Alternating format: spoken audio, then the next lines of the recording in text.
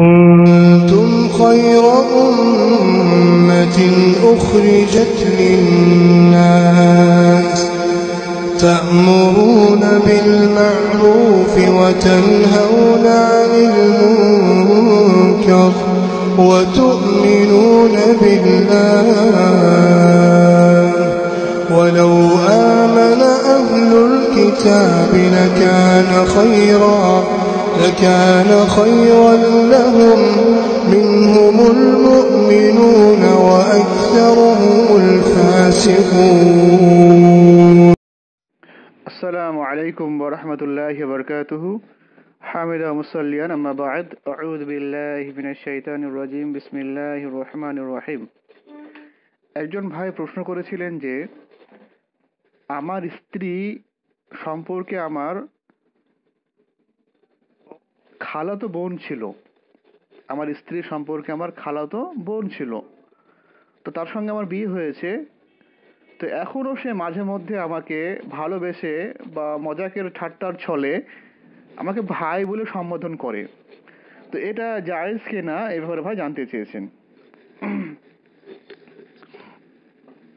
দেখুন, এই ব্যাপারে ইমাম ইবনে কুদ্দামা রহিমুল্লাহ আলাই তার গ্রন্থ আল মুগনির ষষ্ঠ খণ্ডের অষ্টম পৃষ্ঠায় বলছেন যে, ইন কলা যদি কোনো ব্যক্তি বলে তার স্ত্রীকে যে তুমি আমার মায়ের মতো বা তুমি আমার বোনের মতো বা তুমি আমার খালার মতো ও নওয়াবিহি জিহার ফাফা জিহারুন আর তার উদ্দেশ্য হচ্ছে জিহার করা।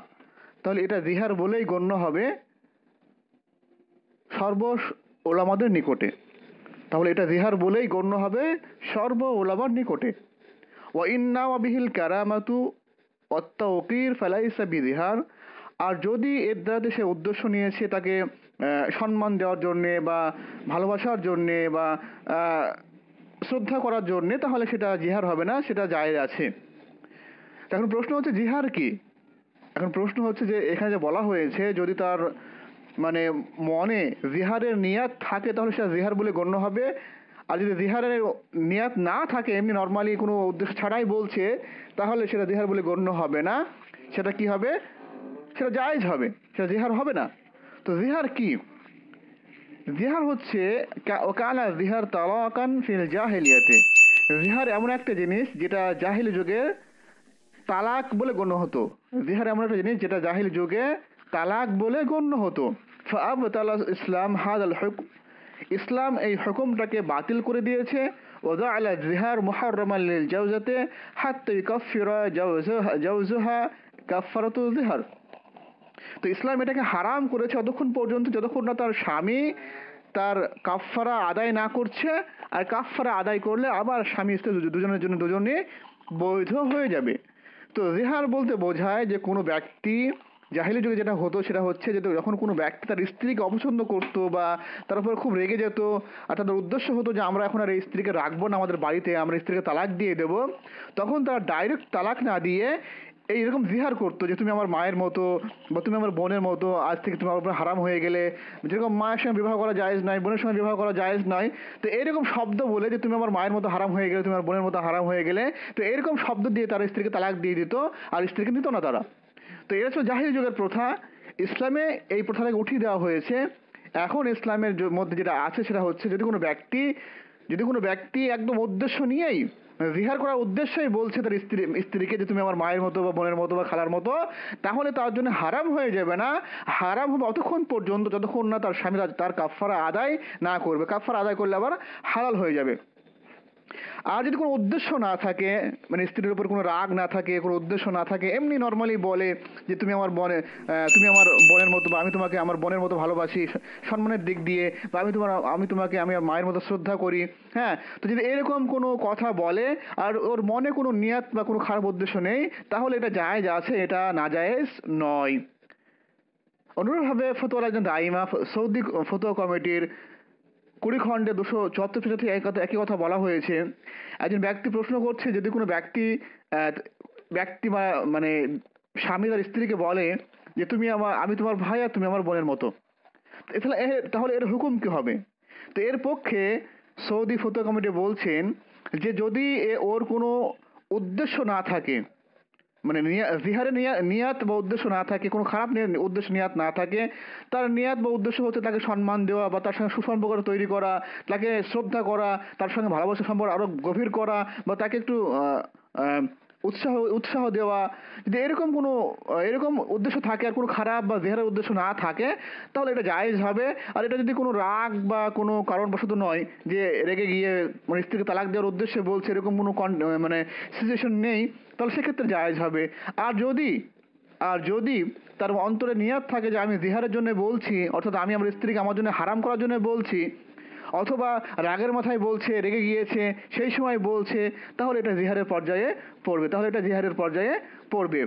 তো যদি কোনো ব্যক্তি জিহার করে নেয়, অন্তর জিহারের উদ্দেশ্য আছে, তাহলে জিহার যদি করে নেয়, তাহলে তাহলে তাকে কাফফারা লাগবে। কাফফারা হচ্ছে একজন দাসকে মুক্ত করা, যেটা বর্তমান জামানায় নেই, সেজন্য এটা ওই নিয়ে আলোচনা করার দরকার নেই। দ্বিতীয় হচ্ছে যে পরপর দুই মাস সিয়াম করা, পরপর একদম কন্টিনিউ ভাবে পরপর দুই মাস সিয়াম করতে হবে। আর যদি সম্ভব না হয় দুই মাস পরপর সিয়াম করা, তাহলে ষাট জন মিসকিনকে খাদ্য খাওয়াতে হবে। সুরাতুল মুজাদালা, সুরা নম্বর আঠান্ন, আয়াত নম্বর এক থেকে চার পর্যন্ত দেখুন ইনশাল্লাহ এখানে বিস্তারিত আলোচনা করা হয়েছে। আয়াত নম্বর এক থেকে চার পর্যন্ত দেখুন, এখানে বিস্তারিত আলোচনা করা হয়েছে এই সম্পর্কে। তো মোট কথা হচ্ছে যে যদি কোনো ব্যক্তি তার স্ত্রীকে ঠাট্টার ছলে বা তার সঙ্গে সুসম্পর্ক তৈরি করার জন্য বা তাকে শ্রদ্ধা করে, সম্মান করে, তার সঙ্গে ভালোবাসা প্রকাশ করার জন্য যদি তাকে বেশি রেসপেক্ট দেওয়ার জন্য বলে যে, তুমি আমার বোনের মতো, আমি তোমাকে আমার বোনের মতো ভালোবাসি, আমি তোমাকে আমার মায়ের মতো ভালোবাসি, তাহলে এটা এটা এটা দোষণীয় নয়, এরকম জায়েজ আছে।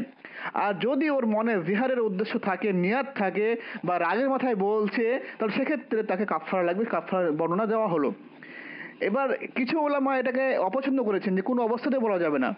কোনো অবস্থাতেই একজন স্বামী তার স্ত্রীকে, বোন বা স্ত্রী তার স্বামীকে ভাই বলতে পারবে না। তিনারা যে হাদিস থেকে দলিল দিচ্ছেন যে এটা কিন্তু মানে সর্বসম্মতিক্রম সঠিক মত নয়, এটা কিন্তু কিছু হলো আমার মত যেটা আমি এখন বলছি।